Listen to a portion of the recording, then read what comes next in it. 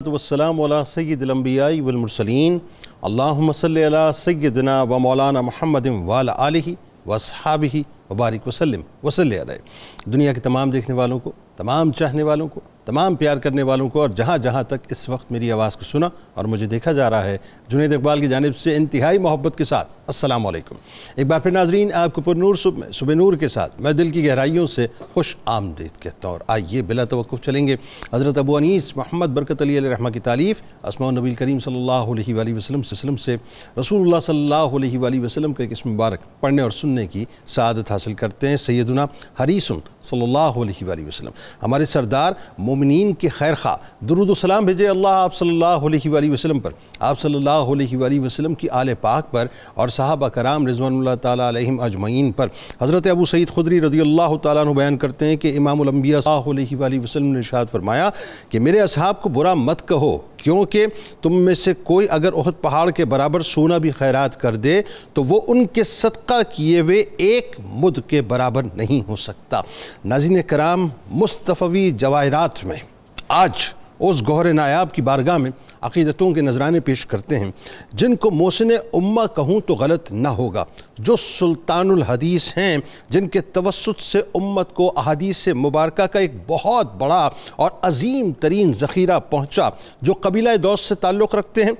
असहाब सुफ़ा की कहकशा में चमकते हुए नज़र आते हैं। फ़क्र फ़ाका जिनकी दस्तार है और इश्क नबी सल्लल्लाहु वसलम में रचा हुआ जिनका किरदार है, जो इंतहाई इबादत गुजार हैं, इंतहाई मुतवाज़े हैं और इंतहाई परहेजगार हैं, जो सरचश्मा में नबविया से सैराब होने के लिए शदीद शदीद भूख और मुफलिसी जैसी दुशवार गुजार घाटियों को अबूर किया करते थे, जो राजदार दीन भी हैं और राजदार अकवाल रसूल अलैहि वसल्लम भी हैं, जिनको अल्लाह ने दुआए मुस्तफ़ा सल्लल्लाहु अलैहि वसल्लम के सदक़े इतना कवी हावजा अता फरमाया कि जो जो ज़ुबान मुस्तफ़ा सल्लल्लाहु अलैहि वसल्लम से सुना करते थे, वो मिनो अन आपकी याददाश्त की फ़ाइल में ट्रांसफ़र होकर मुकम्मल तौर पर सेफ़ भी हो जाया करता था और यूँ कहिए कि उम्मत के अंदर ट्रांसफ़र भी हो जाया करता था। जिन्होंने अहादीस की तलाश जस्तजू को अपना मकसूद हयात बना लिया था, जिनका शुमार शुमार मुकसरीन सहाबा कराम, यानी कसरत से रिवायात करने वाले सहाबा कराम में होता है, जो अहद रसालत में गजवा खैबर हुनैन जैसे मार्कों में भी पेश पेश रहे, जो जलील कदर सहाबा की सफ़ में खड़े हुए, चमकते हुए, दमकते हुए नज़र आते हैं, जिनको अगरचे मुद्दत कलील, लेकिन मुसलसल सोबत रसूल सल्लल्लाहु अलैहि वसल्लम हासिल रही, जो साय की तरह सरवर दो जहाँ सल्लल्लाहु अलैहि वसल्लम के साथ साथ लगे रहते थे, मस्जिद से घर, तमाम मामला और जंगों और गजबात में हाजिर बाश गुलाम की तरह तरह रहा करते थे, जिन्होंने कभी कबूल इस्लाम के बाद ता हयात नबवी रफ़ाकत को तर्क न किया, जो नबी करीम सल्लल्लाहु अलैहि वसल्लम का बहुत ज़्यादा अदब व एहतराम किया करते थे कि इस कदर बाअदब थे कि बग़ैर तहारत के बारगाह रसालत में हाजिर होना और रहमत आलम सल्लल्लाहु अलैहि वसल्लम से मुसाफा करना गवारा नहीं किया करते थे।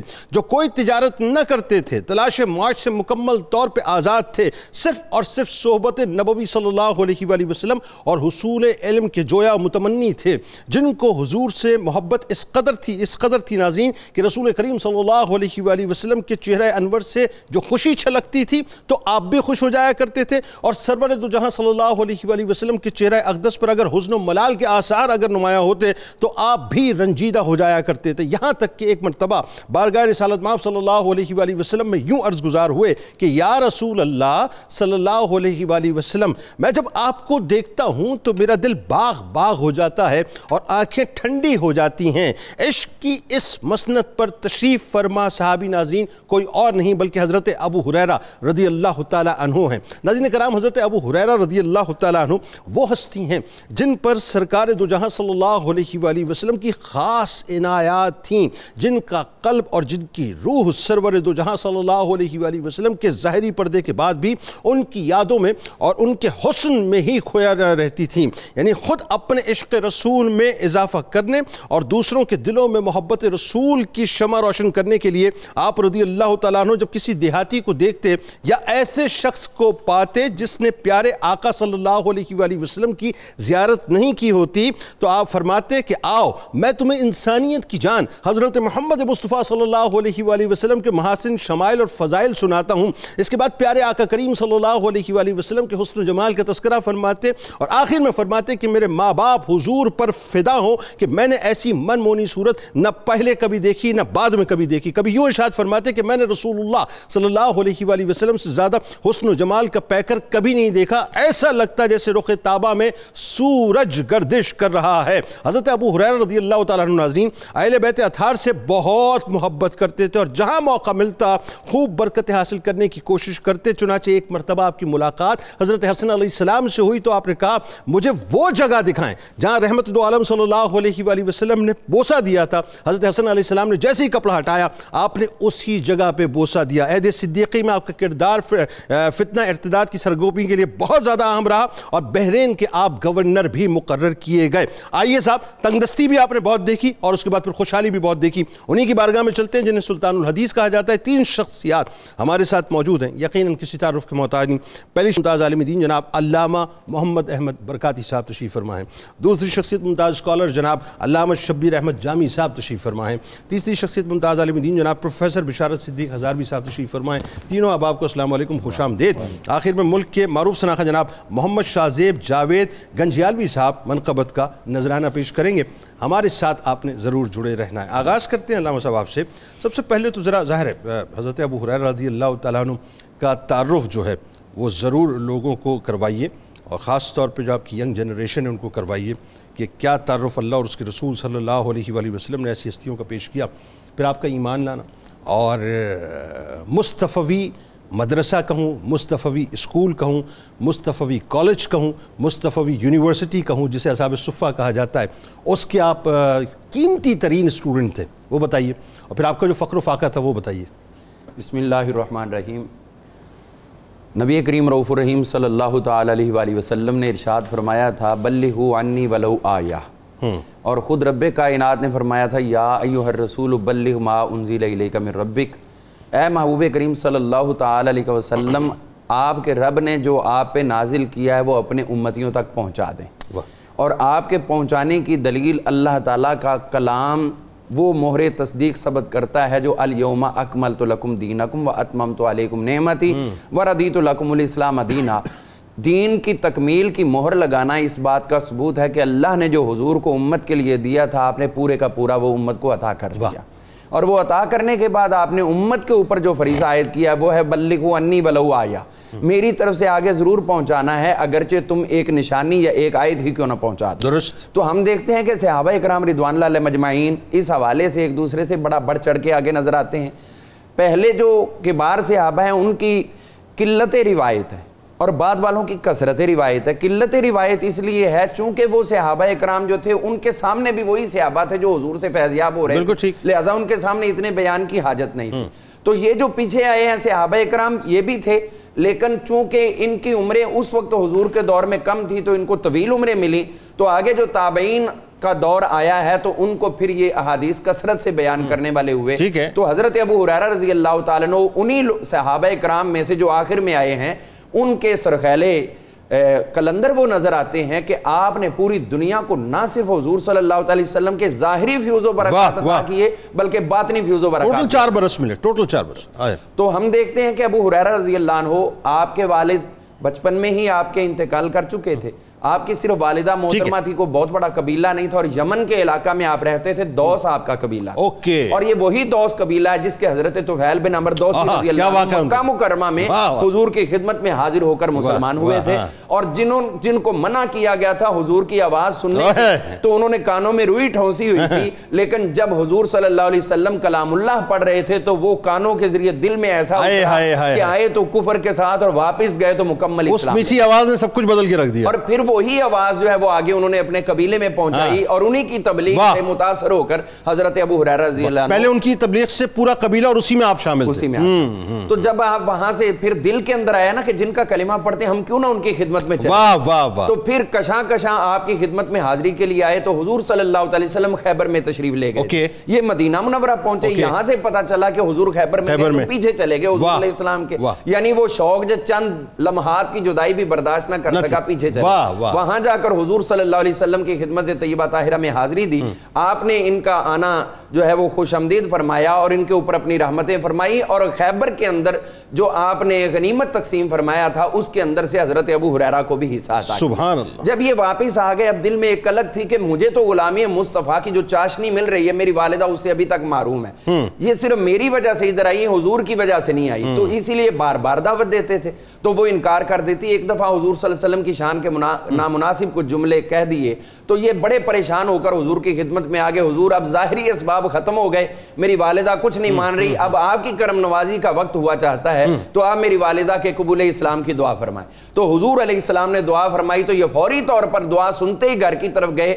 और उस शाख तो यही कहते हैं कि देखना यह था कि पहले मैं पहुँचता हूँ कि मेरे मुस्तफ़ा की दुआ का असर तो जब घर गए तो वालिदा जो है वो गुसल कर रही थी पर्दे के पीछे। तो उन्होंने कहा रुक जाओ जिधर से आए हो दरवाजे पे रोक दिया।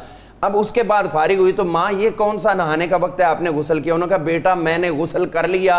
कुफर की सारी गिलाजत दूर कर दी। अब मैं तेरे सामने गवाही देती हूँ अशादु अल्लाह तो जब हुजूर इस्लाम की खिदमत में ये हाजिर हुए तो आपने असहाब सुफा के अंदर इनको शामिल फरमाया।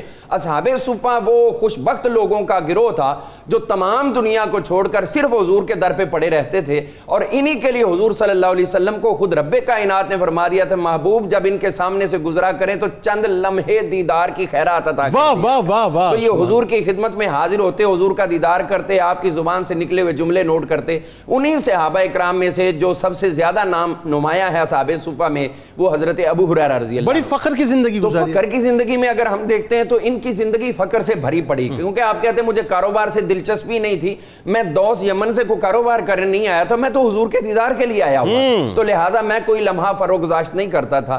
तो इसमें आपको बहुत ज़्यादा फकर का सामना भी करना पड़ा और वो मशहूर वाकयात जो इधर से ही हुए हैं साहब सुफा के अंदर से ही वो सत्तर से आबा इकराम रिदवान दूध वाला वाकया, क्या कमाल है। सल्लल्लाहु अलैहि वसल्लम की खिदमत में इनको भूख लगी हज़रत अबू बकर सिद्दीक से भूखे को खाना खिलाने की फजीलत पूछी तो उन्होंने फजीलत तो बता दी लेकिन मकसूद तक ना पहुँचे। तो जब आका तशरीफ़ लाए तो आका से पूछा तो आका ने फरमाया आओ हम तुम्हें फजीलत बताते नहीं है फजीलत दिखा देते वाह!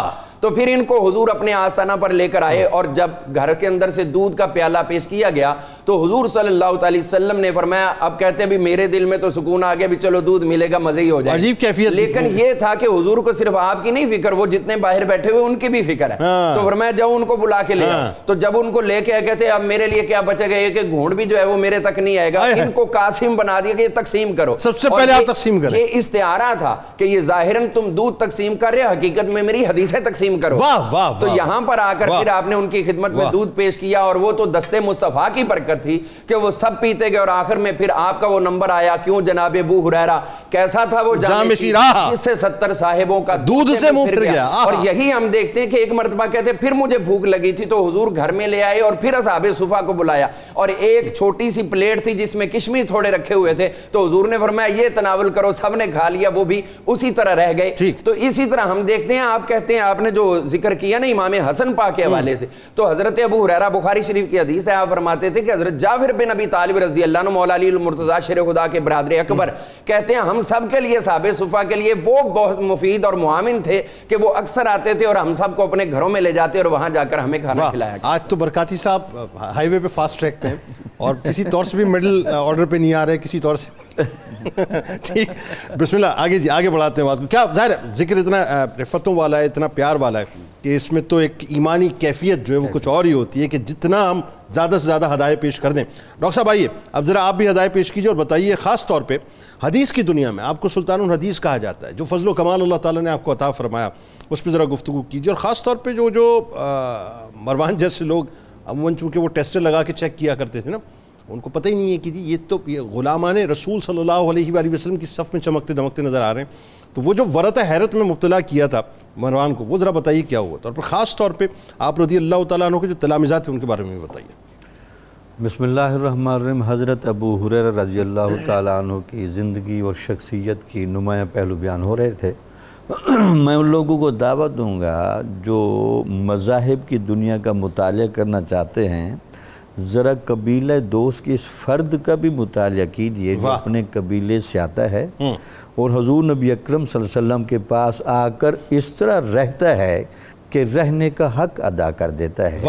ये इंसान के अंदर वो कौन सी फितरत है कौन सी जबिलत है कौन सी रूह है जो मज़हब को कबूल भी करना चाहती है और मज़हब के साथ कमेंटमेंट का वो मैार भी मुतन करके जाती है कि जिनकी हम मिसालें देते रहते हैं। वाह वाह वाह।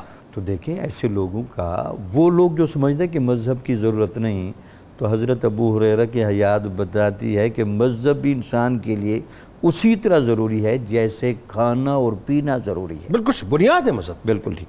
तो आपने देखा कि आपका एक अजीब रंग था और हजूर नबी अकरम सल्लल्लाहु अलैहि वसल्लम की वो जो एक प्यारी फितरत थी कि आप हर बंदे को आने के बाद उसकी इस्तेदाद को चेक कर लेते। थे कि ये कौन सी फितरत लेकर आया है। तो आपका वो लगन का पहलू शौक का पहलू और वो वबस्तगी का पहलू इब्तदी तौर पर वहीं ही तय हो गया था गजव खैबर में। ओके। हजूर की निगाह ने सिर्फ़ आपको गौर से नहीं देखा हाँ।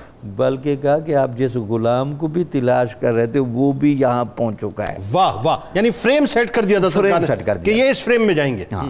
फिर आपने देखा कि हजूर नबी अकरम वसल्लम ने बाद में आपको बाकायदा दुआएँ भी दी कि मेरी जो हदीस का ज़ख़ीरा है अकवाल का अहमाल का और अहवाल का उसकी जमा बंदी और उसकी हिफाजत आपके ज़िम्मे आएगी वो दुआएँ ज़रूर की। लेकिन उसके साथ जो आपकी फितरत का असलूब देखें। आप खुद कहते हैं कि जब मैं आया तो मैंने हजूर नबी अक्रम वसल्लम के साथ अपने आप को इतना वाबस्ता किया खुद कहते थे जैसे साया शख्स के साथ रहता है। वाह यानी लोग तिजारत किया करते थे दीगर मसरूफियात के लिए भी जाते थे लेकिन आप साए की तरह मैं सैल की तरह रहता एक तो वो खुद बताते फिर कहते कि मैं हजूर नबी अकरम सल्लल्लाहु अलैहि वसल्लम से वो सवालात भी पूछता था कि हजूर खुद कहते थे कि मुझे पता था कि ये सवाल आप ही पूछेंगे कि सबसे ज़्यादा क़्यामत वाले दिन आपकी शिफात का हकदार बंदा कौन हाय, हाय, हाय, हाय, आप मुझे फरमाएँ चूँकि आप देख रहे थे कि आप खुद फरमाएँगे हाँ, कि जो मेरी हदीसों को याद करेगा वाह। आगे फैलाएगा और इस पर रहेगा वो सबसे ज़्यादा मेरी शिफात का हक इस दुनिया का मरकजी सवाल है ये मरकजी सवाल। मरकजी सवाल। आहा, मरकजी सवाल। हाँ देखो ना हमारी अकीदत का मरकज वाह, वाह। वाह। वो हज़रत अबू हुरैरा हमें बतलवा कर गए जी वाह, वाह। तो उसके अलावा आपने देखा कि आपका फिर जो अगला बड़ा खूबसूरत रंग है फिर आपने इतनी हजूर नबी अकरम वसल्लम की बातें याद की। लिखी कि मुहदसी ने लिखा जी पाँच हज़ार तीन सौ चौहत्तर हदीस हैं। अल्लाह आपसे बाकायदा रिवायत हुई है। ठीक है। अच्छा रिवायत होने का ये मतलब नहीं था कि इतनी बयान करते थे। मतलब है कि बातें तो बहुत ज़्यादा थी लेकिन महफूज ये हो सकी। ठीक है। और अलह जो हदीसें आपकी हैं वो 325 है। और कमाल ये है कि आपसे जो लोग रिवायत करते थे उन रिवायत करने वालों में हज़रत उमर जैसों का नाम हज़रत उस्मान अल्लाह। हज़रत तलहा अल्लाह। हज़रत ज़ुबैर अशरा मुबशरा में ये अशर मुबशर और साबिकून अव्वलून में अल-अव्वलून, वो रश करते थे। बल्कि किसी ने हज़रत अबू अयूब अंसारी से पूछा कि बड़ी हैरानगी की बात है कि आप लोग अव्वलीन मेज़बान रसूल हैं बिल्कुल ठीक है। और हजूर की सबसे ज़्यादा बातें आपको आनी चाहिए। लेकिन हम देखते हैं कि आप सबको हज़रत अबू हुरैरा का नाम लेकर बयान कर रहे होते हैं तो उन्होंने बताया वजह यह है कि वह हर वक्त हजूर के साथ रहते हैं। अब जरा आ जाइए मरवान वाले वाक़े में लगा कर बैठते हैं जब भी हजूर है तो साथ उनके मरवान वाले वाक़े आपने देखा फिर आपका ये जो कसरत हदीस वाला जो पहलू था इसकी अल्लाह ताला ने इशात जहाँ की उसके शवाहिद भी इकट्ठे करवाए। अपनों से नहीं उन लोगों से भी जिनके बारे में हमें कहना चाहिए कि वो एक अलग लाइन के भी लोग थे। तो मरवान जैसे बंदे को जब आप कुछ उमूर पर तंबीह फरमाते थे समझाते थे कि इस तरह आप मामला को चलाएँ तो उसने दो टेस्ट किए आपके। एक टेस्ट तो उसने ये किया कि यार ये बताएँ आपने तीन या चार साल का अरसा गुजारा। और इतनी हदीसें आपको याद हैं तो एक तो आपने क्लैरिटी दी कि सारे लोग कारोबार के लिए चले जाते थे। कुछ ज़रात और काश्तकारी में मैं हर हाँ, वक्त रहता था। आप बहुत ज़्यादा बयान करते फक्र व फाका की परवाह नहीं की मैंने हर वक्त हजूर से हदीस सीखना ठीक। उसके अलावा उसने इम्तिहान के तौर पर एक जगह एक कातिब को छुपा के बिठा दिया और उसको कहा जी इनसे हदीसें पूछे। तो। आपने हदीसें बयान की। साल के बाद यही दोबारा वाक्य पेश कराया गया। बिल्कुल उन्हीं लफ्जों के साथ उसी तरतीब के साथ। तो वो हैरान रह गया कि लगता ही है हाँ। कि हज़रत वो जो दूध वाला वाक्य बरकत मिला दूध इस्तियारत हदीस नबवी की हिफाजत का। वाह। फिर हजूर ने खुद भी आपको कह दिया कि मैं आपको दो इल्म देकर जा रहा हूँ। जी, जी। एक इल्म तो फैलाना लेकिन दूसरा इल्म सीने में महफूज रखना क्योंकि फैलाओगे तो मसाइल में मुश्किल अच्छा आपने बाकायदा मतलब जो है अपने हलक की तरफ़ इशारा करके फरमाया वो दौर फितन की अदीस हैं या ज़ाहिर फितनों के दौर की अदीस हैं जो करीब थे लेकिन वो बहुत ही यानी वो ऐसा राज है जो कि सिर्फ़ आप ही के सीने में मुंतकिल हुआ। अब ज़रा ये बताइए आगे जाके बात करते हैं वो जो ख़ास तौर पर आपका हाफजा और दुआ, बल्कि मैं आपकी तरफ़ जब आऊँगा, आपसे सवाल करूँगा। लेकिन इससे पहले ज़रा, आप सरकार मदीना सल्लल्लाहु अलैहि वसल्लम का इश्क जो आपके वजूद में था और जो अदब था, वो ज़रा बताइए, क्योंकि मेरा मानना ये साहब, बग़ैर अदब के इश्क नहीं है और बग़ैर इश्क के जो है इतनी वसत नहीं है, हो ही नहीं सकता। बिसमीम वसलात वसलाम सैदलम्बिया वलमरसलिन जुनैद भाई मोहब्बत अगर शिद्दत इख्तियार करके इश्क का रूप धार ले तो मुहिब और आशिक फ़ानी दुनिया से बेगाना होकर हर लम्हा अपने महबूब के तसव्वुर और जलवों में गुम रहता वाह है। वाह। वो इश्क की और मोहब्बत की लज्जत में इस कदर अपने आप को फना कर देता है कि वो महबूब की मोहब्बत में सुनता है महबूब की मोहब्बत में देखता है। उसकी चाहत में चलता है और अपनी जान हथेली पर रख कर हर लम्हा उसके नाम पर अपनी जान को फिदा करने के लिए तैयार नज़र आता है। वाह मतलब मैं मैं नहीं रहता मैं तू हो जाता जी हूँ। बिल्कुल ऐसे ही है। इसकी एक अमली तस्वीर हज़रत सैदना अबू हुरैरा रदी अल्लाह तआला अहादीस नबविया के बहर बेकरा आपकी ज़ात है। आपके इश्क और मोहब्बत का अंदाज़ा इस बात से लगाइए कि नबी अलैहिस्सलाम की ज़ात से इस कदर ताल्लुक था कि हज़रत अब्दुल्ला इब्न उमर ने तो एक जुमले में आपकी सारी मोहब्बत को बयान किया? फरमाते हैं अबू हुरैरा तो हर वक्त हुजूर की ज़ात से चिमटे रहते थे। हर वक्त नबी अलैहिस्सलाम के साथ नज़र आते थे। इश्क और मोहब्बत का आलम यह था कि। रिसाले रसूल अलैहि के बाद अगर मदीना तैयबा के बाहर से कोई शख्स आता या आप खुद तलाश करते हाथ पकड़ कर पूछते तुमने मेरे नबी को देखा है? हाँ। वो कहता कि मैंने नहीं। देखा। फरमाते आओ ना फिर उसने यार की बातें करें। आओ मैं तुम्हें अपने नबी का हुसन सुनाता हूँ। और उसनो जमाल का वो ज़िक्र छिड़ता। नबी अलैहिस्सलाम के रुखसारों का ज़िक्र होता। आका करीम अलैहि की जुल्फों का ज़िक्र होता। वाह। चश्मान मुकद्दस का ज़िक्र होता ज़िक्र करते करते ये जो मजलिस थी अपने अख्तिताम पर पहुँचती तो हज़रत अबू हुरैरा सारी बात को एक जुमले में समेटते कहते अल्लाह की कसम है मेरे माँ बाप नबी अलैहिस्सलाम की ज़ात पर कुर्बान जाएँ इतनी मनमोहनी सूरत तो ना आपसे पहले मैंने कभी देखी है ना आपके बाद कभी देखी है। और कभी यूँ कहते हैं कि माँ रही तो शैयन अहसन अमीर रसूलुल्लाह का अन्ना शम्स तजरीफी वजह ही कि अल्लाह की कसम है मैंने नबी अलैहिस्सलाम से बढ़कर कोई चीज़ नहीं देखी जुनेद भाई काबिल तवज्जो बात है ये नहीं कहा माँ रही तो बशरन माँ रही तो इंसानन माँ रही तो रजुलन ये नहीं कहा कि कोई आदमी या कोई बशर माँ रही तो शैयन कायनात इंसानियत की कोई शय नबी अलैहिस्सलाम से बढ़कर मैंने नहीं देखी का अन्न शम्स तजरीवी वजह ही यूँ लगता था कि जो सूरज है वो नबी अलैहिस्सलाम के चेहरे पर रक्स करता था। आका करीम के चेहरे पर जारी नज़र आता था यह इश्क जब अल्फाज का रूप धारता है आप हदीस बयान करते हैं तो नबी अलैहिस्सलाम के लिए ऐसे अल्फाज लाते हैं कि आपकी वारफ्तगी का इजहार होता है। कभी कहते हैं काला खलीली अबुल कासिम। मेरे खलील अबुल कासिम ने यह फरमाया। कभी कहते हैं काला हबीबी। मेरे महबूब ने यह फरमाया। कभी कहते हैं काला सादिकुल मसदूक। सादिक और मसदूक नबी ने यह फरमाया। और कभी यूँ होता कि नबी अलैहिस्सलाम का नाम मुबारक ज़ुबान पर आता गश खाकर ज़मीन पर गिर पड़ते हदीस बयान ना कर सकते। कभी यूँ भी होता कि सिर्फ़ काला के लफ्ज ज़ुबान पर आते और आँखों से आँसू जारी हो जाते एक रिक्कत तारी हो जाती गिरिया उजारी तारी होता हदीस बयान ना कर सकते। फिर हम ये बात भी जानते हैं मोहब्बत और अदब का पहला मोहब्बत और इश्क का पहला करीना ताजीम और अदब है। ताजीम और अदब के बगैर इश्क नहीं। लेकिन हज़रत अबू रहरा रज़ी अल्लाह अन्हु की जात का ये जो पहलू है अदब रसूल ये भी इंसान को वर्त हैरत में डाल देता है। आपने खुद अपने ऊपर लाजिम किया था कि मैंने बगैर तहारत के कभी अपने महबूब का चेहरा भी नहीं देखा। बगैर तहारत के नबी सलाम से मुसाफा नहीं करना। फरमाते ये मेरा उसूल था लेकिन अचानक एक दिन ऐसा हुआ कि मैं मदीना तैयबा की एक गली से गुजर रहा था। नबी सलाम सामने से तशरीफ़ लाए। आप फ़ौरन मेरे पास आए मेरा हाथ पकड़ लिया। अब हुक्म रसूल था मैं मैं, मैं हुक्म रसूल पर साथ चला। मजलिस जैसे ही सजी हुजूर तशरीफ़ फरमा हुए तो मैं चुपके से उठकर घर चला गया। गुसल करके दोबारा आया। नबी सलाम ने पूछा अबू रहरा कहाँ गए थे? मैंने अर्ज़ किया हुजूर मुझे तारत की ज़रूरत थी गुसल की आजत थी और मैंने अपने ऊपर लाजिम किया है कि बगैर तारत के मैं कभी आपकी जियारत नहीं करता आपकी महफिल में शरीक नहीं होता।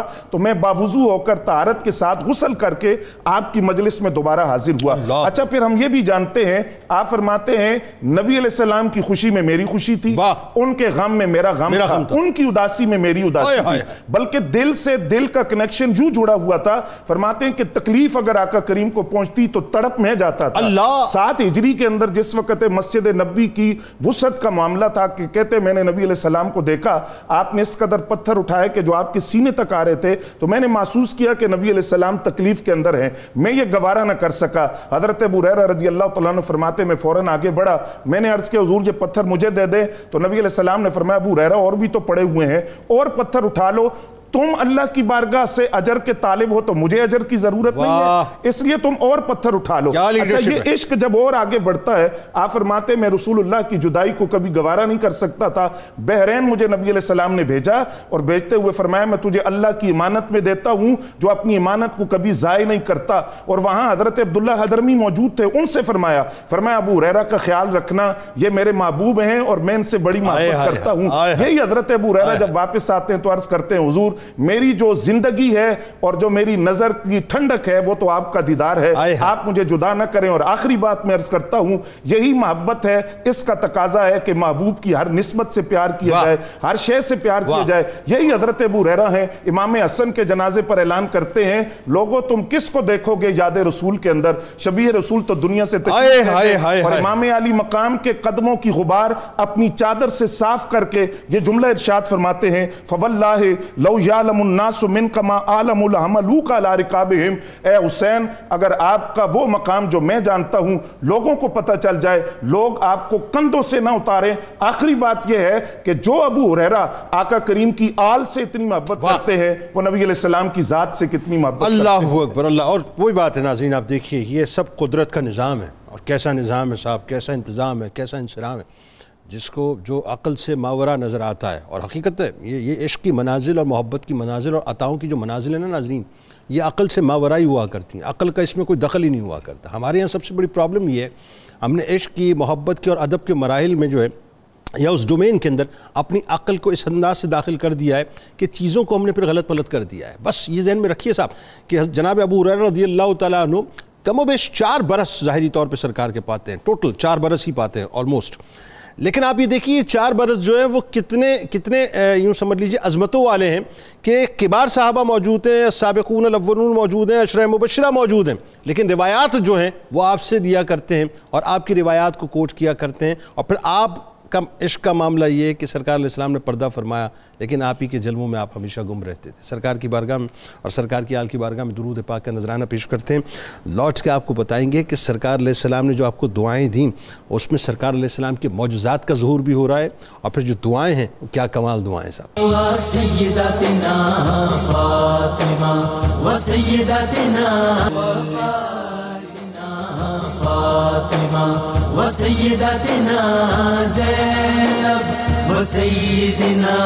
ज़ैनब एक बार फिर मैं आपको खुश आमदीद कहता हूँ। सरवर दो जहाँ सल्लल्लाहु अलैहि वसल्लम के इंतहाई चहीते इंतहाई प्यारे सुल्तान हदीस, हज़रत अबू हुरैरा रदी अल्लाह तु की बारगाह में हदिया अकीदत पेश कर रहे हैं, जो ज़ाहिर मुस्तफ़ी यूनिवर्सिटी के इंतहाई चमकते हुए स्टूडेंट भी हैं।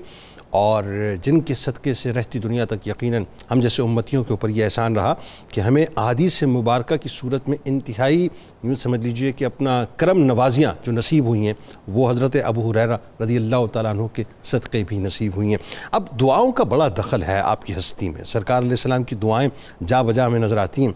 एक तो ये कि जब आपने अपने हाफजे के हवाले से सरकार सलाम की बारगाह में दरख्वास्त की तो सरकार सलाम ने दुआ दी। माँ के हवाले से जो आपने बात की तो वो, वहाँ सरकार सलाम की दुआ, फिर माँ के हवाले से आपकी दुआ। फिर इसी तरह से चूँकि फ़क्र फाका बहुत था तो वो एक मुआवजा भी है ज़ाहिर सरकार का और जो जो खजूरों के मामले में दुआ दी। तो वो खजूरों जो हैं वो फिर 25 बरस तक जो है वो आपके पास मतलब बियॉन्ड दी इमेजिनेशन है। बताइए ज़रा। जी यकीनन हुजूर सल्लल्लाहु अलैहि वसल्लम की ज़ात वाला तबार तो वराउल वरा है आम मोमिन की दुआ अल्लाह ताला रद्द नहीं फरमाता। बिल्कुल सही। तो जब खुद हुजूर सल्लल्लाहु अलैहि वसल्लम जिसके लिए दुआ के लिए हाथ उठा दें तो फिर सुबहान अल्लाह कबूलियत में कोई शक बात अल्लाहु। तो इमाम काजी अयाज अलैह ने अपनी कि- शिफा शरीफ के अंदर हजूर सल्लल्लाहु अलैहि वसल्लम की दुआओं का बाकायदा एक बाब बांधा है ठीक है। कि हजूर ने किस किस के लिए कब कब दुआ की और वो कैसे फौरी तौर पर कबूल हुई उसमें इन दुआओं का भी ज़िक्र किया है। जहाँ तक हम ये देखते हैं कि हज़रत सैदना अबू हुरैरा रज़ियल्लाहु की जो याददाश्त है कुत हाफिज़ा है तो वो पहले तो आम थी कुवत हाफिज़ा जिस तरह हुआ करती किसी की भी कुछ चीज़ें याद रह जाती कुछ भूल जाती हैं। तो आप भी उसी कैफियत में मुबतला थे लेकिन ये आपका इश्क था कि हुजूर सल्लल्लाहु अलैहि वसल्लम से अर्ज़ करते हैं हुजूर मैं आपकी कोई बातें भूल जाया करता हूँ तो मैं नहीं चाहता कोई बात भूल। आए तो ये भी एक इश्क था उनका। और अगर आपकी ज़िंदगी ज़िंदगी मुबारक का अहाता करके हम देखें तो वो आपकी ज़िंदगी के हवाले से ये शेर बखूबी वजाहत करता है कि तेरी उल्फत में रहना हुजूर सल्लल्लाहु अलैहि वसल्लम की मोहब्बत के लिए आपकी तरफ़ मैं इशारा कर रहा हूँ। तेरी उल्फत में रहना इरादत इसको कहते हैं तस्वुर में तेरे रहना इबादत इसको कहते हैं तेरे कूचे में होना दफन जन्नत इसको कहते हैं शहादत नाम है तेरी गली में आने जाने का तसव्वुर में तेरे रहना इबादत इसको वाह वाह। तो अब ये हुजूर सल्लल्लाहु अलैहि वसल्लम की ज़ात वाला तबार से इतना प्यार और मोहब्बत आप करने वाली शख्सियत थी तो इसीलिए दुआओं से महरूमी का तो फिर सवाल ही पैदा नहीं होता। तो अर्ज़ की हुजूर मुझे दुआ था फरमाए। आपने वैसे भी दुआ देते तो एक अलग बात थी लेकिन यहाँ प्रैक्टिकली आपने फरमाया चादर कांधे पे थी फरमाया फैलाओ वो फैलाई हुजूर सल्लल्लाहु अलैहि वसल्लम ने दस्ते मुबारक यूँ डाला दोनों जहाँ की नेमतें हैं तेरे खाली अली हाथ में। तो अब जब उन्होंने वो सारी नेमतें डाल दी फरमाया इसको सीने से लगा दो। अब देखने वाला तो देखेगा कि कुछ भी नहीं है लेकिन देने वाला जाने या लेने वाला जाने। यानी ऐसा है कि बाज़ार खाली हाथ हैं दस्ते मुबारक लेकिन ऐसा लग रहा है कि लपे भर भर के दे रहे हैं लपे भर भर के दे रहे हैं। हाँ। तो फिर इसमें देखिए क्या फरमाते जैसे ही मैंने वो सीने में अपने लगाया तो वो इतना नूर मुंतकिल हुआ कि उस वक्त के बाद मुझे हुजूर सल्लल्लाहु अलैहि वसल्लम की कोई भी ऐसी बात नहीं आपने फरमाई कभी भूल गई हो अल्लाह अकबर हुजूर की दुआ का आप पर असर था। फिर हम देखते हैं जो आपकी वालदा मोहतरमा के हवाले से मैं अर्ज़ कर चुका हूँ जो आपने दुआ की और जिसकी वजह से कबूलियत इस्लाम हुई ये माँ से भी मोहब्बत थी। तो इसीलिए बाद में आप एक जुमला बोला करते जब दो साहबाब बैठ जाते तो आप दुआ के लिए हाथ उठाते वो हुजूर की दुआ थी ये आपकी दुआ। अल्लाह फिर ले अभी हुरैरा। वाले उम्मे अभी हुरैरा वाली मन इस तगफर उम्मे अभी हुरैरा। या अल्लाह अबू हुरैरा की भी मगफरत कर दे अबू हुरैरा की माँ की भी मगफरत कर दे और जो मेरी माँ के लिए मगफरत की दुआ करे उसकी, उसकी भी मगफरत कर। वाह वाह वाह भाई तो क्या इमाम बात। मोहम्मद बिन। सीरीन कहते हैं हम एक दफ़ा बैठे हुए तो जैसे ही आपके मुँह से ये जुमले निकले तो हमने फौरी हज़रत अबू हुरैरा की माँ के लिए दुआ करने क्योंकि हमारी कबूल होने के नहीं वो अबू हुरैरा जाने और उनका रब जाने लेकिन उनकी दुआ हमें तो नसीब हो जाए। अल्लाह तो ये आपकी वालिदा मोहतरमा के हवाले से फिर हम देखते हैं कि जो खजूरों की आपने बात कही। हाँ। तो हजूर वैसे के पास कसीर हाबा मौजूद थे। तो आपने अबू हुरैरा हमने इनकी जो मेज़बानी करनी है तो कुछ आपके पास है तो ले आओ। तो मैं गया फौरी तौर पर मैंने कुछ खजूरें उठाई और वो 21 खजूरें थी। तो मैंने अर्ज़ किया हुजूर बस यही है। तो फरमाया बस यही नहीं है ये बहुत कुछ है। दस्ते मुबारक रखा फरमाया आओ भी दस दस बंदे आओ और खाओ। वो आते गए उनमें से तनावुल करते गए आते गए तनावुल करते गए और तीन सौ के करीब वो सहाबा थे। सबके सब पेट भर के खा गए देखा खजूरें उसी तरह। यानी ये पहला मौजूदा जो आपने दिखाया खजूरों के हवाले से। ठीक हो गया। तो फिर आपने फरमाया कि इसको एक बर्तन में रख लो एक महफूज जगह पर जम्बील में रख लो और कभी गिनती अब दोबारा नहीं करनी। हाँ। और इसके बाद खाते रहना थैला जो है मतलब उसको देखना नहीं है उसको बंद करके तो दो। मिसवत जो था जिसके अंदर आपने रखा तो आप फरमाते हैं फिर वो 25 बरस तक हज़रत उस्मान गनी रज़ी अल्लाह की शहादत तक जो है वो आपके पास वो रहा उसी तरह। आप उसमें से निकालते रहे लोगों को खिलाते रहे आम लोगों को जिहाद में घर में इतना इसार इतना इसार करते रहे हत्ता के आप फरमाते हैं कि उसमें से मैंने 200 वस्क से ज़्यादा खजूरें खैरात ये 200 वस्क कितना बनेगा अगर एक सौ अगर तीस मन- किलो का एक वस्क होता है। 130 किलो का एक वस्क होता है। हाँ जी ये साढ़े छह सौ मन के करीब बनते हैं। अच्छा 100 आप बात करते रहे जा रही 130 किलो का एक एक, एक वस्क होता है। एक सौ बीस का। जी हाँ एक तो सौ साढ़े छह सौ मन के करीब आपने उसमें से खजूरें खैरात की और यहाँ से जुनैद साहब ये बात नज़र आती कि जो इस वाक़े से पहले 200 वस्क बताया ना हाँ जी इस वाक़े से पहले पहले हम देखते हैं कि हज़रत अबू हुरैरा रज़ी अल्लाह की ज़िंदगी में चौबीस हज़ार के जी हो गया तो। हाँ चौबीस हज़ार के जी अब इसमें आप देखिए कि इस वाक्य वाक़े से पहले पहले आपके फकर की बातें मिलती हैं। हाँ। आपको कभी ये हुआ कभी जुनून लाहिक हो जाता कभी आप फरमाते हैं कि मुझे हजरे असवद और जहाँ मिंबर लगाया जाता था वहाँ दरमियान में आप लेट जाते लोग कहते उनको जुनून हो गया। तो फरमाते मुझे पेट का जुनून है भूख लगी है मुझे। हज़रत उम्र फारूक रज़ी ने एक दफ़ा आए तो आपकी गर्दन पे उन्होंने अपना घुटना रख दिया भी इनको कुछ जुनून हो गया। तो आप इशारा कर रहे थे वैसा जुनून नहीं है ये भूख का जुनून है। लेकिन जब हजूर ने यह अता कर दी फिर ज़िंदगी भर कभी भूख की शिकायत नहीं। क्योंकि खुद भी तनावुल फरमाते रहे और आप हजूर वसल्लम के गुलामों को भी वो मेजबानी करके तबर्रुक यानी यानी यानी मेरे सरकार के मौजूदात जो हैं वो माँ वराए अक्ल हैं इसमें कोई दूसरी राय नहीं है साहब। यहाँ पे बस इश्क और मोहब्बत और अदब का तकाजा ये है कि इंसान सर झुका के सर तस्लीम खम करे। अब ज़रा डॉक्टर साहब ये बताइए जनाब अबू हुरैरा रदी अल्लाह आ, ये वही बात है कि जिस अंदाज से आपने फ़क्र फाका को बर्दाश्त किया, भूख को बर्दाश्त किया अफलास को बर्दाश्त किया, तलब इल्म के लिए, सरकार अलैहिस्सलाम की नस्बत से। आप तो जहद व तकवा भी आपका जो है अपने बाम उरूज पे था, इबादतों का ज़ौक़ भी बाम उरूज पे था। और फिर एक बात जो ख़ास तौर पे आपकी ज़िंदगी के जो दो फेजेज़ हैं, यानी एक फ़ेज़ वो है कि जिसमें इंतहाई तंगदस्ती है, भूख है, परेशानी है, और एक वो फ़ेज़ है जिसमें खुशहाली है। तो दोनों का जो तर्ज ज़िंदगी था आपका, यानी दोनों अदवार का, वो क्या था बताइए बसमीम हज़रत अबू हुरैर रज़ी अल्लाह तु की ज़िंदगी में जहाँ अकवाल रसूल की हिफाजत का रंग नज़र आता है वहाँ आमाल नबवी की भी बड़ी वाज झलक नज़र आती है। आपके अंदर इतबा नबवी का बड़ा गहरा रंग था। तकवा की बड़ी गहरी कैफियत थी। जोहद के आप पैकर थे इत्तबा नबवी के हवाले में आपके शागिर्द कहते हैं कि हमने आपको जब भी इबादत करते देखा तो इबादत के अंदर अरकान की अदायगी बिल्कुल उसी तरह करते थे जिस तरह हजूर नबी अकरम वसल्लम को करते देखी थी। तो लगता यह है कि आपकी हिफाजत हदीस का कौली पहलू हो या हिफाजत हदीस का अमली पहलू हो दोनों की खैरात आपको वाफर मिली थी। दूसरा ये था कि हजूर नबी अकरम सल्लल्लाहु अलैहि वसल्लम का वो जो जोहद का रंग आ गया कि आपके सामने एक भूनी हुई बकरी पेश की गई। आपने जब उसको देखा तो आपकी आँखों में आँसू आ गए। तो आपने कहा कि अब हमें आप कहते हैं ये भूनी हुई बकरियाँ खाएँ। हमने हजूर नबी अकरम सल्लल्लाहु अलैहि वसल्लम को फ़क्र अख्तियारी के पेश नज़र ताकि क़यामत तक आने वाला मेरा कोई महरूम उमती को मेरी सुन्नत याद रहे वो परेशान ना हो। तो हमने हजूर को तो जौ से पेट भर कर खाना खाते नहीं देखा। तो ये हम कैसे इस तरह के लजीज खाने खा सकते हैं? फिर लोगों ने देखा कि रात को आप बाकायदा शब जिंदादार थे। ठीक। तो आपके एक शगिर थे हज़रत अबू उस्मान निहंदी वो कहते एक दफ़ा मैं सात दिन के लिए आपके घर रहा। तो सात रातें मैं देखता रहा। आप खुद आपकी जोज मोहतरमा और आपका गुलाम सारी सारी रात जाग कर गुजारते थे। अल्लाह इबादत करते थे नवाफिल पढ़ते थे। ये जोजा वही थी जिनकी आप गुलामी में थे और बाद में जब आपको जो है खुशहाली नसीब हुई तो इन्हीं से आपका अख्द हुआ हाँ हाँ तो हुआ। बल्कि उस पर आप बाकायदा शुक्र भी अदा करते थे कि अल्लाह ताला ने ये कैसी नेक फितरत औरत बनाई जी, है जी, जी। कि जिसका गुलाम अब ये सादत भी रखता है कि वो उसका बास भी बन गया है। ठीक।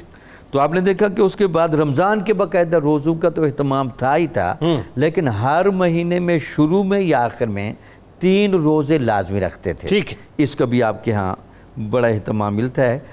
बारह हज़ार मरतबा तस्वीर पढ़ना रोज़ाना आपका मामूल था। कौन सी तस्वीर पढ़ते थे? वो सुबहान अल्लाह व बिहमदिही सुबहान अल्लाह अच्छा। के इशारे मिलते हैं हाँ। क्योंकि ये तीसरा कलमा कलमा तमजीद की ठीक है। क्योंकि बहुत ज़्यादा फजीलत अच्छा, है ये ठीक है। ये आपके मामूलात में था जी, जी। और दूसरा ये था कि आपके हाथ में हर वक्त एक थैली सी रहती थी हम्म। और उसमें गुठलियाँ होती थी जिनको हर वक्त आप पढ़ते रहते थे अच्छा। तो लोगों ने देखा कि आपका इबादत का ज़ोक शोक इतना ज़्यादा है कि जब भी फरागत का कोई लम्हा मिलता है तो ज़य किए बगैर ज़िक्र की कैफियत में मगन हो जाता यानी ये गुठलियों पे पढ़ने की जो दलील है वो यहाँ से मतलब वो यहाँ जाती जनाब अबू बिल्कुल ठीक है। उसके अलावा आपने देखा हजूर नबी अक्रम वसल्लम की हदीस बयान करने का रंग जैसे मोहतरम बशारत साहब ने बताया वो एक ख़ास कैफियत में बयान करते थे। वाह। लोगों ने देखा कि हदीस को बयान करने का जो रंग होना चाहिए वाह। आँखों से आँसू जाते हैं।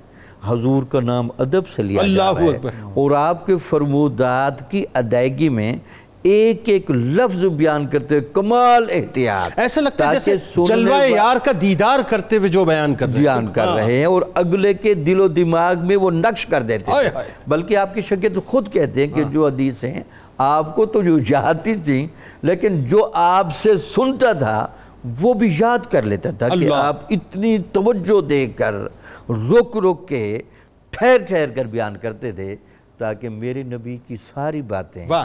उम्मत तक पहुँच जाए। अच्छा डॉक्टर साहब एक बात जो बड़ी बस आखिर में मैं चाहता हूँ उस पर कमेंट ज़रूर कीजिए कि आपकी हयात तैयबा वही जैसे एक फ़ख्र का ज़माना फिर एक खुशहाली का ज़माना। जब आप गवर्नरी मिली बहरीन की तो मैं फारूक के दौर में तो आ- मतलब कोई तब्दीली नहीं आई तब्दीली नहीं है। बल्कि लोगों ने देखा कि आप जिस जानवर पर बैठे थे हाँ। आपका गद्दा भी उसी तरह सादा था। हाँ। और उस पर निम्दा नाम की आम सी वो आथा रखी होती थी। हाँ, आपकी वो जो लगाम थी वो खजूर की होती थी। और आप बैठे होते एक अंदाज था लाड का। लोगों को कहते थे कि तुम्हारा अमीर आ रहा है। दस्ता साफ़ कर दो। लोग कहते हैं कि हमारे अमीर ऐसे हैं कि सादगी भी कमाल दर्जे की। और वकार भी कमाल दर्जे का। यानी ज़िंदगी को समझे तो असल में ये लोग समझे हैं। प्रोफेसर साहब हकीकत ज़िंदगी की क्या है? इस दुनिया की हकीकत क्या है? एक्चुअल हमें होना कैसे चाहिए एज मुस्लिम असल इन्होंने समझाया ज़िंदगी को। आखिर में ज़रा आइए चूँकि ज़ाहिर जो आपका तुर्रा है जो आपका इम्तियाज़ है जिसकी वजह से आप सुल्तान हदीस कहलाते हैं हदीस मुबारक। मैं चाहता हूँ कुछ मरवियात ज़रूर सुनाएँ कि जो लोगों की सीखने उनके समझने और ज़िंदगी में तब्दीली के हवाले से ख़ास तौर पर जुनैद भाई जो आपकी मरवियात हैं वो पाँच हज़ार तीन सौ चौहत्तर। उनकी तादाद है ख़वातीन में सबसे ज़्यादा जो रिवायतें हैं वो सईदा आयशा सिद्दीक़ा रदी अल्लाह अन्हा की हैं और मजमू तौर पर आप हैं। मैं एक बात अर्ज़ करके आपकी मरवियात की तरफ़ आता हूँ। सईदना सिद्दीक़ अकबर रदी अल्लाह अन्हु से एक सौ बयालीस रिवायतें आपने ली हैं। सईदना फ़ारूक आज़म रदी अल्लाह अन्हु से पाँच सौ सैंतीस रिवायात आपने ली हैं। हज़रत उस्मान गनी रदी अल्लाह अन्हु से एक सौ छियालीस रिवायतें ली हैं। मौला अली मुर्तज़ा से पाँच सौ छियासी हदीस आपने रिवायत की है। अब उन मरवियात में से एक हदीस बुखारी शरीफ के अंदर है अ, जिसमें आपने एक वजीफ़ा बताया फरमाते हैं कि माह रमज़ान के अख्ताम पर सदक़ फ़ितर इकट्ठा हुआ तो नबी सलाम ने मुझे उसका निगरान बनाया okay. रात का वक़्त था एक चोर आया जिसने एक लब हाय, हाय, हाय, हाय, तो क्या बात है? कि मैंने। उसको पकड़ लिया। उसने कहा कि मैं हाजतमंद भी हूँ। मेरे छोटे छोटे बच्चे हैं आप मुझे छोड़ दें। फरमाते मुझे तरस आया मैंने उसको छोड़ दिया। सुबह में नबी सलाम की खिदमत में हाजिर हुआ तो ये लफ्ज है। फरमाते मैंने नहीं कहा खुद नबी सलाम ने मुझसे फरमाया वो रात वाला जो तुम्हारा कैदी है उसका क्या बना? अर्ज़ के सरकार मुझे तरस आ गया मैंने उसको छोड़ दिया। फरमाया अबू रहरा वो आज हाँ, फिर आएगा। फरमाते मुझे यकीन था नबी सलाम की बात पर रात में ताक में रहा वो दोबारा आ गया। जब मैंने उसको पकड़ा तो उसने फिर वही बात की कि मेरी बच्चे भी हैं हाँ। छोटे छोटे और मैं आज। आ गया फिर मैंने उसको छोड़ दिया। सुबह फिर सरकार ने पूछा तुम्हारे कैदी का क्या बना? मैंने अर्ज़ किया फरमाया आज फिर आएगा। फिर आएगा। वो तीसरी रात फिर आया फिर वही बातें की तो फरमाते मैंने कहा अब मैं तुम्हें नहीं छोड़ूँगा। अब मैं नबी सलाम की खिदमत तुम्हें हाजिर करूँगा तुम रोज आते हो। उसने कहा आप मुझे छोड़ दे मैं आपको एक वजीफा बताता हूँ। आप शैतान से महफूज हो जाएँगे। फरमाया वो वजीफा क्या है? तो उसने कहा वो वजीफा यह है कि अगर आप आयतल कुर्सी पढ़ लें बिस्तर पर जाते हुए तो सुबह तक सुभान शैतान आपके करीब नहीं आएगा। जब सुबह नबी सलाम ने पूछा कैदी का क्या बना तो अर्ज़ किया हुजूर वो तो मुझे ये वजीफा बताकर चला गया मैंने छोड़ दिया। हुजूर ने फरमाया था झूठा बात सच्ची कर गया। सच्ची कर गया सच्ची कर गया। वो खुद शैतान था जो तीन दिन वहाँ चोर बनकर आता रहा। यानी इसका मतलब ये हुआ कि ये जो आयतल कुर्सी है इसको हमें खास तौर पे जो है वो अपने जब हम बेड पे शैतानी असरात से हिफाजत हाँ, लिए। अच्छा, बहुत ज़रूरी, दूसरी हदीस जो आपके वो बड़ी मारूफ हदीस है। और उस हदीस की खास बात यह है कि आज तमाम मदारस दीनिया के अंदर जो खत्म बुखारी की तकरीब होती है उसमें जो बुखारी शरीफ की आखिरी हदीस पढ़ाई जाती है वो आपकी रिवायत है। हाँ, फरमाते हैं कलिमतान खफीफतान अलल लिसान सकीलतान फिल मीजान हबीबतान इलर रहमान सुबहान अल्लाह व बिहमदिही सुबहान अल्लाहिल अजीम कहते हैं दो कलमे ऐसे हैं ज़ुबान पे बड़े हल्के हैं लेकिन मीज़ान के अंदर बड़े भारी हैं और रहमान को बड़े महबूब। है। सुबहान अल्लाह व बिहमदिही सुबहान अल्लाहिल अजीम। अच्छा फिर हदीस है आका करीम के साथ उम्मत और शफकत उम्मत की साथ आका करीम की शफकत और मोहब्बत के वाले से मुस्लिम शरीफ की। फरमाते नबी ने फरमाया मेरी और मेरी उम्मत की मिसाल इस तरह है जैसे किसी शख्स ने आग जलाई तो पतंगे और परवाने उसके अंदर गिरते हैं। इसी तरह मैं तुम्हें तुम्हारी कमर से पकड़ कर हूँ। तुम उसमें गिरने की कोशिश कर रहे हो। फिर एक हदीस आदाब मुआशरत और अखलाकियात के वाले से जो तिरमजी के अंदर है कि नबी अलैहिस्सलाम ने फरमाया ईमान में सबसे कामिल वो है जिसके अखलाक सबसे बेहतर है। और तुम में से सबसे बेहतर वो है जो अखलाक के अंदर अपनी बीवी के साथ सबसे ज़्यादा बेहतर है। फिर एक हदीस है जो सदको खैरात के वाले से आपने बयान की मुत्तफक अलैह रिवायत आयत है फरमाते नबी सलाम ने फरमाया जो शख्स खजूर के बराबर हलाल माल से सदका करता है फरमाया जान लो कि अल्लाह सिर्फ़ हलाल माल का सदका कबूल करता है। है। अब वो जो खजूर के बराबर उसने सदका किया फरमाया अल्लाह अपनी शान के मुताबिक दाहिने हाथ से वो सदका कबूल फरमाता है। फिर उस सदके को सदका देने वाले के लिए। इस तरह परवान चढ़ाता है जिस तरह तुम में से कोई शख्स अपने घोड़े के बच्चे को पालता है जहाँ तक कि वो सदका कल पहाड़ की मानद उसको दिखाया जाएगा। वो खजूर के बराबर सदका पहाड़ की मानद शक्ल इख्तियार कर लेगा। फिर एक हदीस शरीफ अल्लाह ताला की रहमत के वाले से आपने इरशाद फरमाई, जो बुखारी शरीफ की है, कहते हैं, आका करीम सल्लल्लाहु अलैहि वसल्लम ने इरशाद फरमाया, बंदा अपने गुमान के मुताबिक अपने रब को पाता है। जो वो अल्लाह के बारे में गुमान रखता है उस गुमान के मुताबिक अपने रब को पाएगा। यानी अल्लाह के बारे में उसने जन रखो। फिर फरमाया जब बंदा ज़िक्र करता है अपनी ज़ुबान को हरकत देता है तो वो अल्लाह को अपने साथ पाता है। वो अल्लाह का ज़िक्र दिल के अंदर करता है तो अल्लाह भी खुफिया तौर पर उसको याद करता है। वो मजलिस के अंदर रब का ज़िक्र करता है तो रब उससे बेहतर, बेहतर मजलिस में करता है। की मजलिस में उसका ज़िक्र करता है। फरमाया वो एक बालिश अल्लाह की तरफ़ बढ़ता है तो अल्लाह एक हाथ उसकी तरफ़ बढ़ता है वो अल्लाह ताला की तरफ़ एक हाथ बढ़ता है तो अल्लाह दो हाथ उसकी हाथ तरफ़ उसकी बढ़ता तरफ़। है वाह। फरमाया वो रब की तरफ़ चल कर आता है रब अपनी शान के मुताबिक दौड़ दौड़ के तरफ़ है। और आखिरी बात आपने फरमाया मा मिन अहदिन युसल्लिमु अलैया इल्ला रद्दल्लाहु अलैया रूही हत्ता रुद्दा अलैहि सलाम सुनन अबी दाऊद की रिवायत फरमाया जब कोई मुसलमान नबी सलाम ने फरमाया जब कोई मुसलमान मुझ पर सलाम भेजता है अल्लाह मेरी रूह को लुटा देता है मैं उस मुसलमान के सलाम का जवाब अता फरमा वाह वाह वाह वाह वाह सुबहान अल्लाह सुबहान अल्लाह सुबहान अल्लाह तो आइए साहब, मिलकर फिर सरकार की बारगाह में एक मरतबा सलाम पेश कर देते हैं। अस्सलातु वस्सलामु अलैका या रसूल अल्लाह सल्लल्लाहु अलैहि वसल्लम। इस तयक़ुन के साथ कि सरकार की बारगाह में हमारा सलाम भी पहुँचा और सरकार इन यकीन उसका जवाब भी फरमाएँगे। बहुत शुक्रिया आप तीनों अब आपका। आप तशरीफ़ लाए। अल्लाह तबारक ताली इस गुफ्तु को ज़िक्र करने वालों और ज़िक्र सुनने वालों के लिए कल बरोज़ मैशर तोशा आखरत बनाए और जनाब अबू हुरैरा रदी अल्लाह अन्हु का ख़ास सदका अता फरमाए। किताब शिफा की जानब आपको लिए चलते हैं। नमाज़ इशा के बाद दो रकत नफिल अदा करें अदा करें। ग्यारह बार दुरूद इब्राहिमी और उसके बाद इकतालीस बार सूर फातहा पढ़ें और दुआ मांगें इस तरह कि ये अमल सात दिन तक जारी रखें। इन अच्छा रोज़गार मिल जाएगा। हज़रत अली करमलाजुल करीम का कमाल कौल मुबारक है कि जिस शख्स में बसीरत, सूझबूझ और इल्म की जस्तजू होती है तो अल्लाह ताली उससे इल्म और हिकमत जैसी लाजवाल दौलत से माला माल करता है। रोज़नामा नाइन्टी टू न्यूज़ में आज मजमून ज़रूर पड़ी हदीस हज़रत अबू हुरैरा रदी अल्लाह के हवाले से ट्विटर पर हमें फॉलो कर लीजिए फेसबुक पेज को लाइक कर लीजिए यूट्यूब चैनल को सब्सक्राइब करके बेल आइकॉन को ज़रूर क्लिक कर लीजिए। हमारे साथ मुल्क मारूफ सना खान, जनाब मोहम्मद शाहजेब जावेद गंजियालवी साहब मौजूद हैं। आपको खुश आमदेद अस्सलाम और आखिर में आइए, ज़रा अपनी अपनी रूह से तजदीद अहद वफ़ा करेंगे।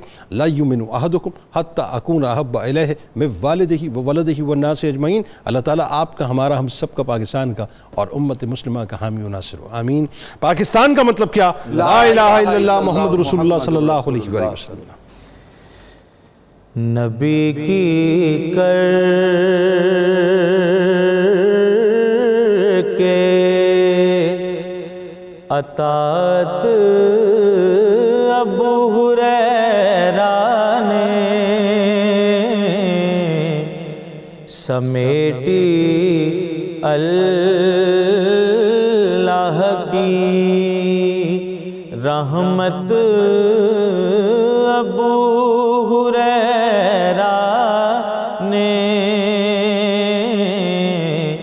नबी की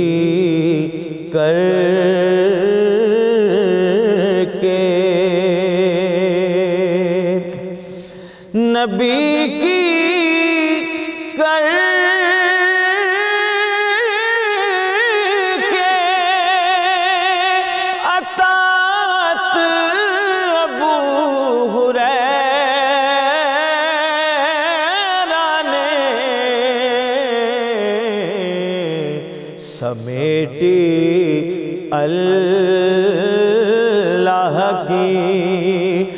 रहमत अबू हुरैरा ने नबी की कर के अता हुजूर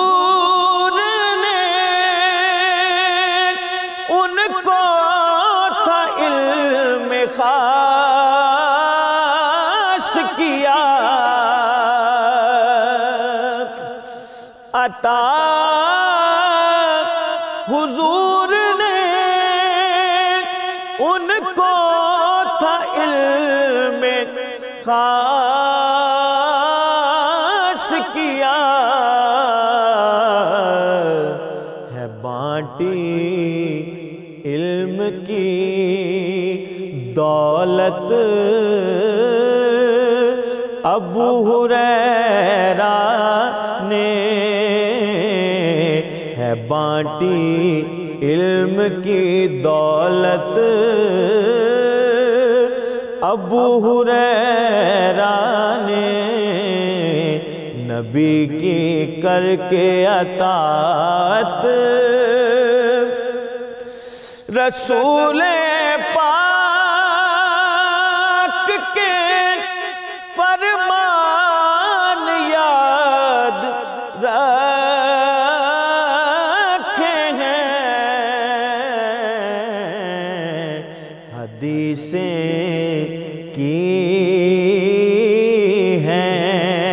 रिवायत। अबू हुरैरा ने हदीसें की है रिवायत। अबू हुरैरा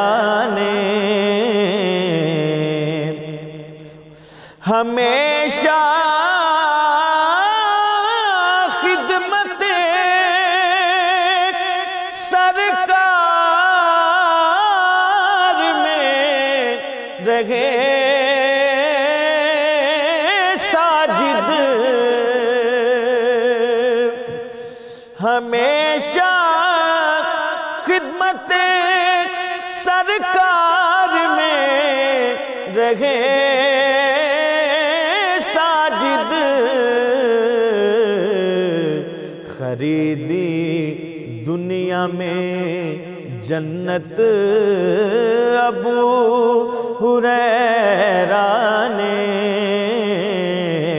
नबी की करके अतात अबू हुरैरा ने समेटी अल्लाह की रहमत अबू हुरैरा अपने